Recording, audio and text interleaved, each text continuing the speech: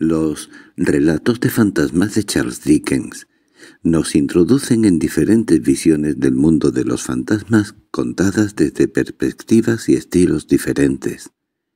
Algunos tienen un tono de dramatismo e intensidad, rozando en ocasiones el melodrama.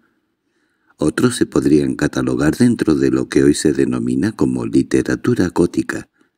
Incluso los hay que están narrados con una buena dosis de ironía y humor. Hoy leemos La visita del señor testador. Y ya vamos a dar comienzo. Espero que sea de tu agrado.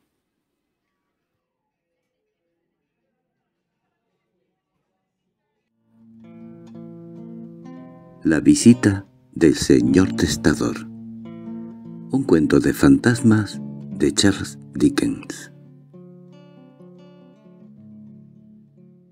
El señor testador alquiló una serie de habitaciones en Lions Inn, pero tenía un mobiliario muy escaso para su dormitorio y ninguno para su sala de estar.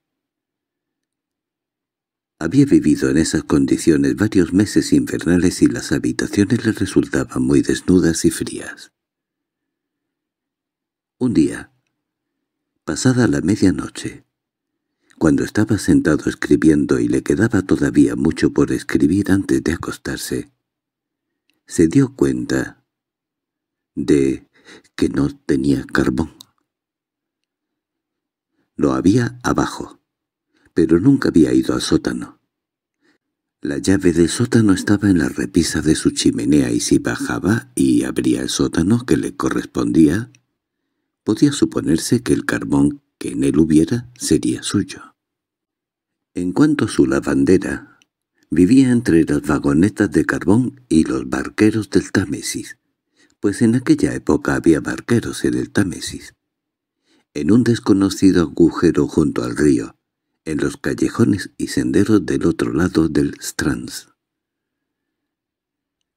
Por lo que se refiere a cualquier otra persona con que la que hubiera podido encontrarse o le pudiera poner objeciones, Lions Inn estaba llena de personas dormidas, borrachas, sensibleras, extravagantes, que apostaban, que meditaban sobre la manera de renovar o reducir una factura, todas ellas dormidas despiertas pero preocupadas por sus propios asuntos.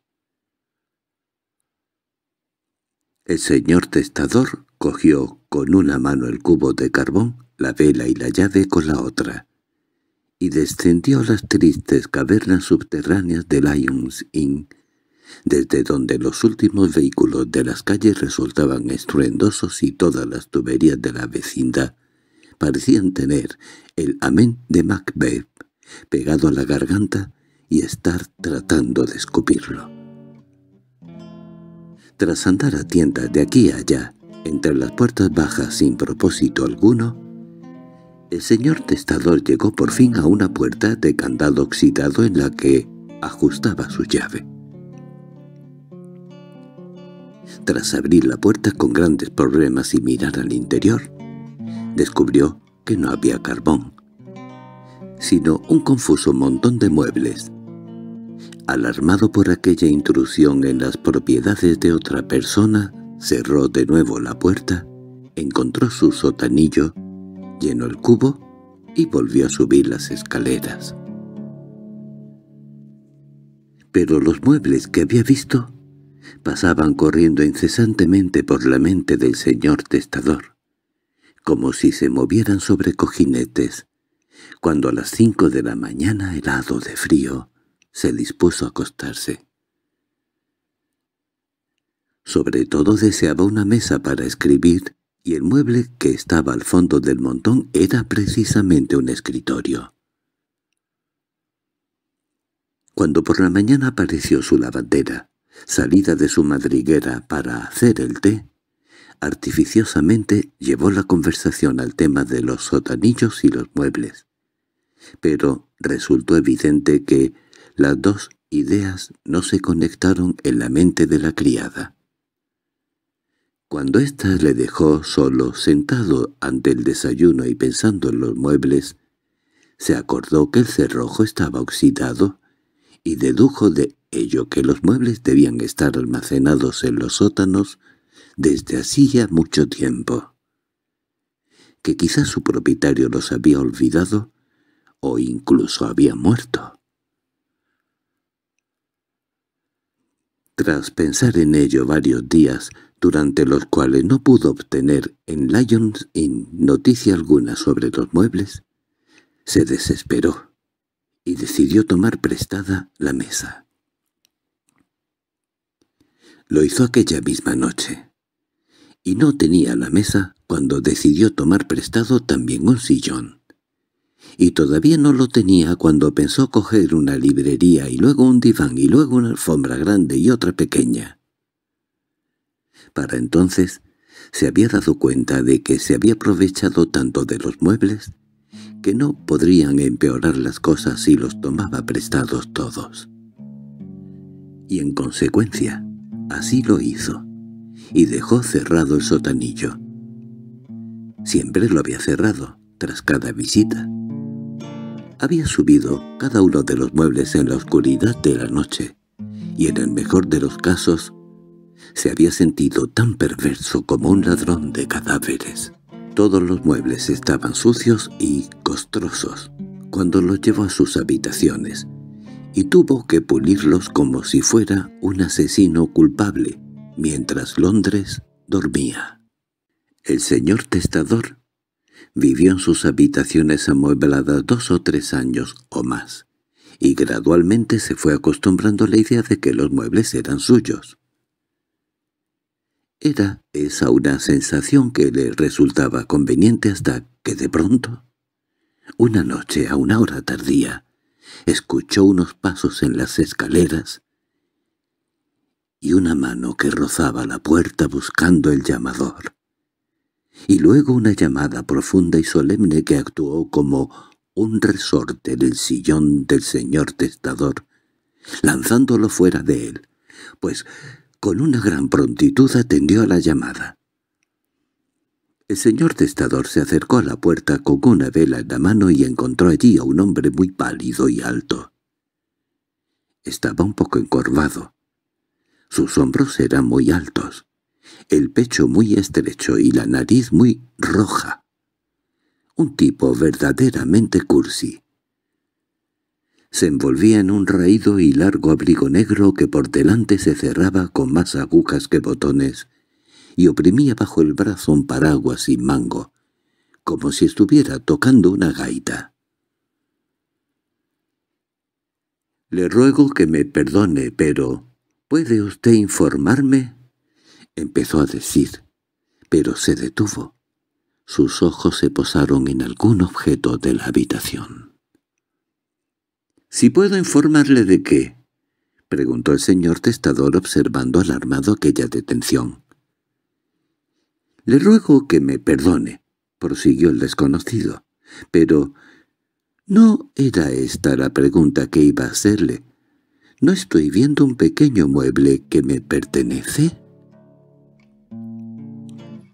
El señor testador había empezado a decir, tartamudeando que no sabía cuándo el visitante se deslizó a su lado introduciéndose en la habitación.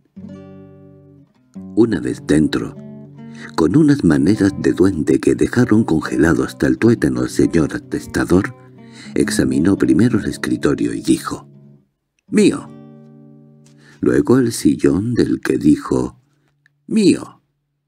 Luego la librería y dijo, «¡Mía!». Luego dio la vuelta a una esquina de la alfombra y dijo, «¡Mía!». En resumen, inspeccionó sucesivamente todos los muebles sacados del sotanillo afirmando que eran suyos.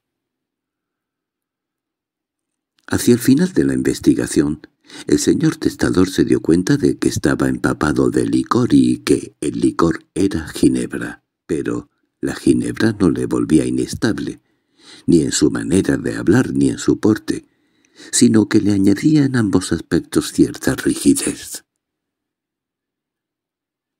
El señor testador se encontraba en un estado terrible. pues, según redactó la historia, por primera vez se dio cuenta plenamente de las consecuencias posibles de lo que había hecho intrépida y descuidadamente. Después de que estuvieran un rato en pie, mirándose el uno al otro, con voz temblorosa empezó a decir «Señor, me doy cuenta de que le debo la explicación, compensación y restitución más completa. Los muebles serán suyos. Permítame rogarle que sin malos modos y sin siquiera una irritación, por su parte, podríamos tener un poco de algo para beber. Le interrumpió el desconocido. Estoy de acuerdo. El señor testador había pensado decir un poco de conversación tranquila, pero con gran alivio aceptó la enmienda. Sacó una garrafa de ginebra. Estaba preocupado por conseguir agua caliente y azúcar cuando se dio cuenta de que el visitante se había bebido ya la mitad de la ginebra. Con el agua caliente y azúcar, la visita se bebió el resto de la ginebra antes de llevar una hora en la habitación según las campanas de la iglesia de Santa María del Strands y durante el proceso susurraba frecuentemente para sí mismo «¡Mío! ¡Mía! ¡Mío!».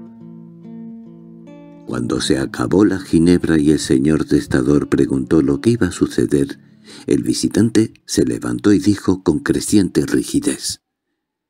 «Señor, ¿a qué hora de la mañana resultará conveniente?» «A las diez», se arriesgó a sugerir el señor testador. «A las diez entonces, señor. En ese momento estaré aquí», afirmó y luego se quedó un rato contemplando ociosamente al señor testador para añadir. «Que Dios le bendiga». «¿Y cómo está su esposa?» El señor testador, que no se había casado nunca, respondió con gran sentimiento. Con gran ansiedad la pobre, pero bien en otros aspectos. Entonces el visitante se dio la vuelta y se marchó, cayéndose dos veces por las escaleras. Desde ese momento no volvió a saber de él. No supo si se había tratado de un fantasma o de una ilusión espectral de la conciencia o de un borracho que no tenía ninguna relación con el cuarto o del dueño verdadero de los muebles, borracho, con una recuperación transitoria de la memoria. No supo si había llegado a salvo a su casa, o no tenía casa alguna a la que ir. No supo si por el camino lo mató el licor, o si vivió en el licor para siempre. No volvió a saber nada de él. Esta fue la historia, traspasada con los muebles y considerada auténtica por el que los recibió en una serie de habitaciones de la parte superior de la triste Lions Inn. Fim.